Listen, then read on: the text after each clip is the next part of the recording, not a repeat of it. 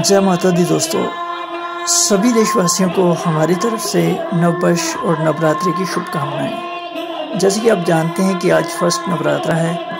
उसके चलते चूड़ामणि संस्कृत संस्थान बसोली में अभिषेक उपाध्याय तथा विद्यार्थियों द्वारा कलश जो है, उसकी स्थापना की गई और विधि पूर्वक पूजन किया गया। आप इस वीडियो में देख सकते हैं। छोटे छोटे बच्चे किस प्रकार से पूजा कर रहे हैं, ये हम आपको दिखा रहे हैं।